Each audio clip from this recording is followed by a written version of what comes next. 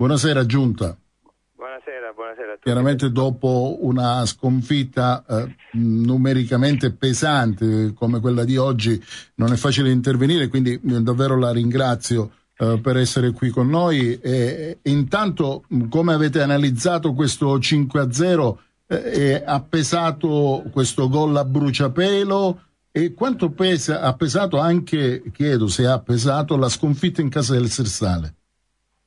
Allora, io eh, ci, ci, terrei a precisare che, che il risultato eh, del 5-0 ovviamente è un po' bugiardo, non perché noi meritavamo di non subire tutti questi gol, eh? sì. eh, perché a, intanto eh, partivamo da una squadra di mareggiare avevamo otto titolari non disponibili, purtroppo eh, avrei avuto il piacere di confrontarmi con Locri con una squadra più completa, ma non è stato possibile, quindi e che il mister ovviamente il secondo tempo è stato costretto a spregiudicare un po' l'assetto visto che stavamo, eravamo sotto di 2 a 0 abbiamo messo un ragazzo giovane che era arrivato da quattro giorni eh, che poi hanno visto tutti che è stato purtroppo un disastro, eh, non è entrato e quindi abbiamo subito altri tre gol. Se vedete le azioni sono arrivati sì. tutti dal, da quella posizione lì. E quindi non do le colpe ovviamente a nessuno, è stato solo un problema di, di rosa eh, che numericamente parlando siamo un po' inferiori rispetto a loro. Sì. Ecco, questa è la, la, pura verità perché il Logri ma, manca un calciatore, ne prende un altro, lo mette. È una questione dentro. prettamente di organico, insomma. Di Ora... organico. Da noi manca qualcosa da, da, da, prendere urgentemente se vogliamo pensare di poter combattere per questo campionato. Comunque e sull'1-0, comunque da quanto ci è stato raccontato, in qualche modo avete eh, contenuto questo Logri, avete anche cercato chiaramente di... No, sì, c'è stata una bella reazione, anche se il, il, il gol sembrava l'azione in sospetto fuori gioco e questo non lo posso dire perché io ero proprio in linea con il centrocampo, ma le immagini probabilmente poi chiariranno questa, questa, questa situazione che è successa, perché io sembra, a mio avviso, che il primo gol, eh, eh, l'azione era, era partita da un sospetto fuori gioco.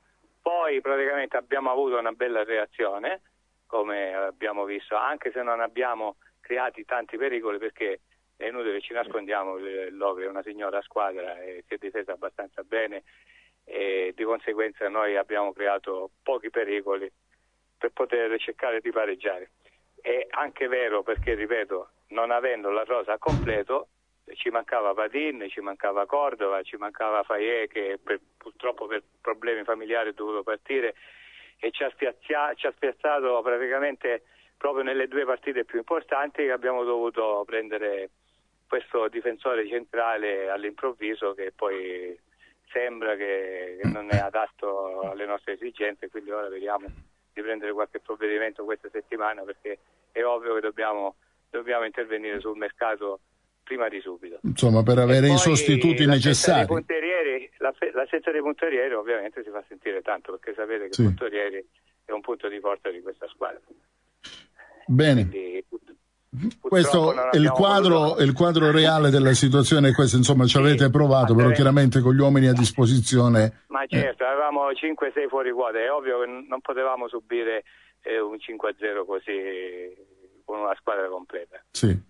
Vabbè, è maturato anche in un secondo tempo dove magari eh, subisce il terzo gol la squadra, oh, magari pure il nervosismo, eh, può capitare, no? Questi diciamo che l'arbitro, l'arbitro, non è stato un arbitro all'altezza, secondo me, perché praticamente loro giocavano eh, con troppo agonismo, secondo me qualche ammonizione ci stava e magari si sarebbero trattenuti un po' di più gli avversari, visto sì. che l'arbitro praticamente non ammoniva nessuno, ha ammonito solo due o tre no, dei nostri giocatori, ma secondo me loro avrebbero avuto, dovuto subire almeno 3-4 ammonizioni che non hanno avuto. Quindi è normale che poi giocano più tranquilli, possono fare qualche fallo in più, con più cattiveria, eccetera. Mm. Vincenzo, sì, buonasera. Eh, io buonasera. volevo tornare su quello che ha detto infatti, il Presidente, che era quello del fatto che bisogna intervenire su qualcosa. Io ho visto la squadra domenica scorsa e mi pare che oggi hanno giocato gli stessi 11 che hanno giocato a Sertale. Eh, non vorrei sbagliarmi. Sì, eh, volevo tornare su questo fatto. Eh. Dica.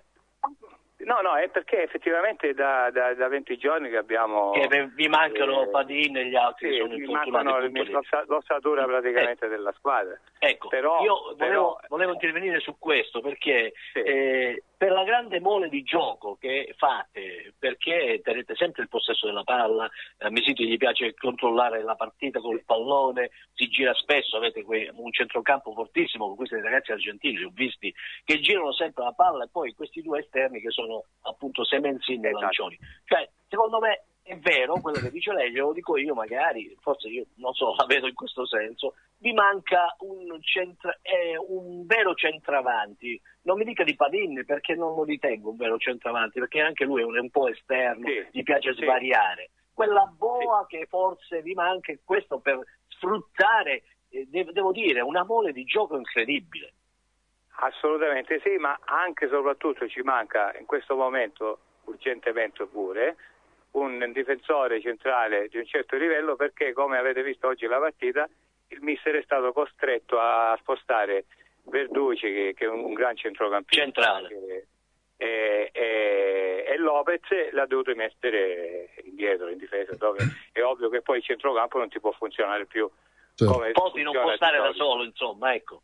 Poti no, no, no, no, no eh, ripeto, ora sicuramente in questa settimana il direttore interverrà eh, sul mercato sperando di, di, trovare un, di, trovare in base al nostro budget soprattutto perché noi non abbiamo certo. nessuna intenzione di straspendere per dei calciatori e quindi noi se dobbiamo vincere dobbiamo vincere con i giovani, trovare dei giovani di un certo livello eh, un, con, con, con, non tanti soldi diciamo che non è, non è facile, però il direttore nostro è all'altezza di poterlo fare, quindi sicuramente troveremo qualcosa. Certo.